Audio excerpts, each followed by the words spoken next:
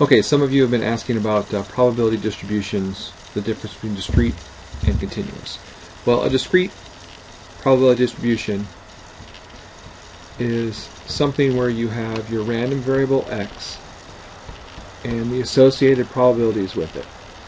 So we could have something as simple as uh, rolling a one-sided die, right? And it's either going to come up one, two, three, four, five, or six. And because our die is evenly weighted, right, they all come up with the same probability. So one sixth, one sixth, etc., etc. Right? So that's a probability distribution table for a discrete probability. When you get a continuous variable, you no longer have a countable number of options for x, right? x is your random variable. It can take on different values. If it's a discrete random variable, it has a countable number. Now that countable number could be really huge, like a million, but it's still countable.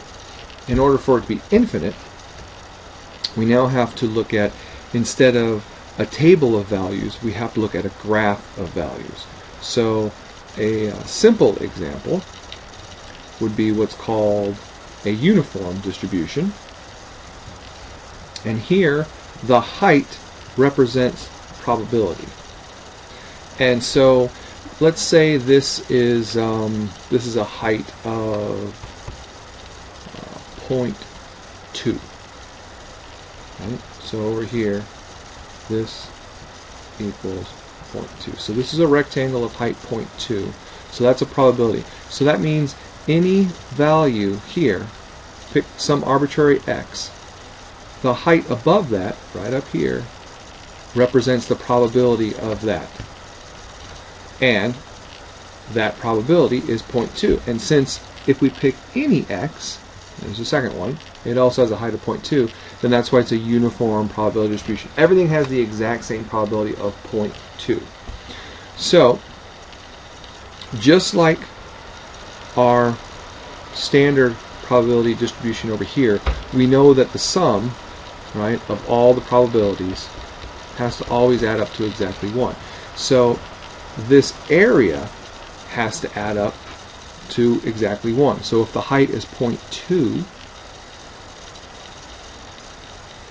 or 2 tenths, right, how long does this distance have to be? Well, it's basically 0.2 times what is going to give you an area of 1, and that ends up being 5. So this picture represents the case where you have a random variable x that is continuous, right? And it can take on, so it's continuous, and x can take on all values between 0 and 5. So it can be 1, it can be 1.1, 1.111, right? 2.1, 2.5, 2.57, 2.57, you know. The decimals can go on and on and on forever and ever and ever. What makes this so much different from our uh, discrete case is we can no longer ask what's the probability of 2.5 because the probability of 2.5 is now considered an area and it's an area in this shape. Well if we're looking at x equals 2.5 it doesn't have any area above it because it's just a thin line. Now of course mine's you can see area with mine. But what happens is we can no longer ask these questions. What we now have to ask is what's the probability that x is less than 2.5. Well, isn't 2.5 exactly half way down here? So wouldn't less than 2.5 be all of this stuff over here? And wouldn't that answer just be 0.5? Or 50%? Right? Because it's half the area. What if we ask the question, um, what's the probability that x is less than or equal to 2.5. Do you see how that's still the exact same thing? It's also 0.5. Well, if this one, let's uh, change colors. So if the one in red ends up being a half,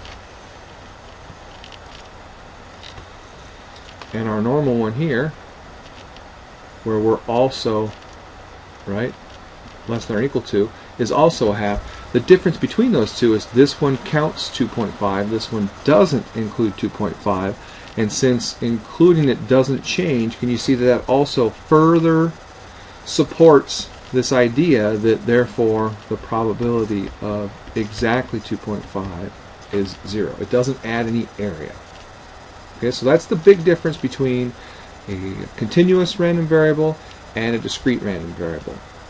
I'll put up another video where we talk about uh, continuous random variables that are no longer uh, these uniform distributions. We'll go on to the normal curve and things like that.